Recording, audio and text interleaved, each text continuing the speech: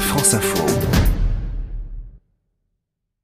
À livre ouvert avec les libraires du réseau lalibrairie.com et nous allons aujourd'hui parler polar. Bonjour Thomas Carl. Bonjour. De la librairie Le Comptoir des mots à Paris. On commence avec un premier roman qui résonne dans l'actualité, c'est Jake de Brian Reardon chez Gallimard. De quoi s'agit-il? Un roman qui effectivement fait écho à l'actualité américaine euh, puisqu'il s'agit d'une histoire de fusillade dans un lycée. Le roman débute quelques minutes après celle-ci où euh, le, le père d'un des enfants présents là-bas reçoit un, SMS qui l'informe d'une de coup de feu et lui donne rendez-vous à un point de ralliement où les parents seront pris en charge. À l'inverse de toutes les histoires un peu tragiques, euh, qu'elles soient vraies ou fictives, le père de cet enfant n'est pas juste le père d'une victime, il est le père d'un des potentiels tireurs. Son fils est le meilleur ami du tireur et son fils a disparu. Et son fils a disparu. Donc on ne sait pas s'il a participé ou pas à la fusillade. Effectivement. Et tout joue sur cette ambivalence. Est-ce que oui ou non, euh, son fils est un monstre? Bien sûr, tout parent va, va nier cette évidence, sauf que notre personnage, c'est pas un personnage torturé, c'est un père au foyer, il y a aussi euh, ça qui est abordé, qui va remettre en cause euh, toute l'éducation qu'il a apportée à Jake, son fils. Le, le, héros, au fond, c'est presque pas Jake, hein, c'est le père dans ce bouquin. Tout en autour de Jake, mais c'est le c'est son père, ouais. le narrateur, qui va être mis en scène dans un roman construit en deux temps. D'un côté, le présent, l'instant d'après la fusillade, les quelques jours après où euh, on va rechercher Jake, où est-il passé, est-il encore vivant, mais surtout euh, des pauses euh, où on va revenir dans le passé, la naissance de Jake, ses premiers pas, euh, ses, ses, premiers mots, et puis ses premiers déboires. Et la difficulté du père à élever son enfant. C'est seul aussi la question. homme au foyer, ouais. euh, dans un monde encore aujourd'hui où malgré tout c'est l'inverse.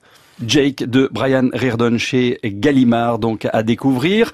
La griffe du chat, à présent, de Sophie Chabanel au seuil. Polar beaucoup plus léger, un peu plus enjoué après euh, cette histoire tragique. Propriétaire d'un bar à chat qui est retrouvé mort parmi ses matous. C'est ça. Alors on ne peut pas ne pas voir un clin d'œil à, à, Winslow avec ces deux fantastiques livres, La griffe du chien et, et, Cartel. La griffe du chat, par contre, ne nous emmène pas donc au Mexique, mais à Lille, où euh, un pauvre homme, a priori poussé à bout par euh, sa rombière, se suicide dans son bar à chat. Le chat vedette a disparu. Qu'est-ce que c'est que ce micmac? Et on va suivre deux enquêteurs au caractère tout à fait différent. Elle, elle est... Euh, elle commissaire Romano. Ouais. Romano, caractère bien trempé et, euh, et, la répartie cinglante. Et un autre inspecteur, lui, beaucoup plus terre à terre, beaucoup plus pragmatique.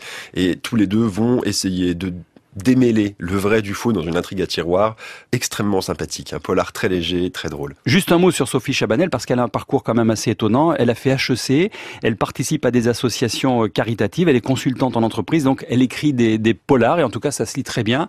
Cette griffe du chat parue chez euh, chez les éditions du Seuil, Sophie Chabanel.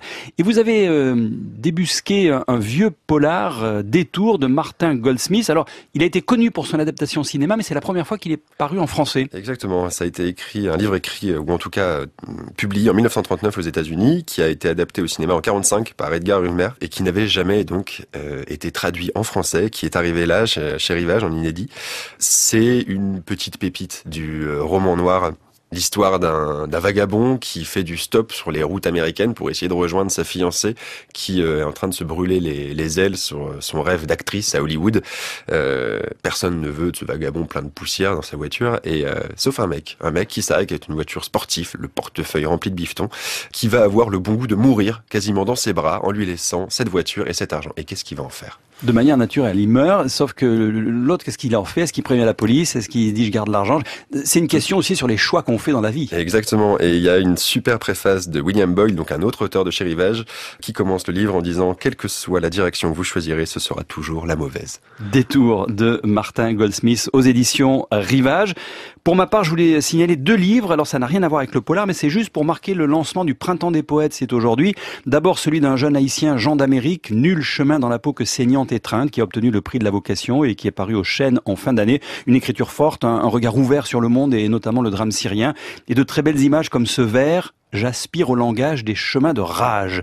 Et puis le petit livre de Sophie Nolot, la poésie à l'épreuve de soi chez Actes Sud. Sophie Nolot qui est la nouvelle directrice du Printemps des Poètes qui commence donc aujourd'hui et se poursuit partout en France jusqu'au 19 mars. Merci Thomas Carl. Merci à vous. De la librairie Le Comptoir des mots à Paris. Cette émission est à réécouter sur franceinfo.fr ou sur tous les sites de podcast en s'abonnant à À Livre Ouvert.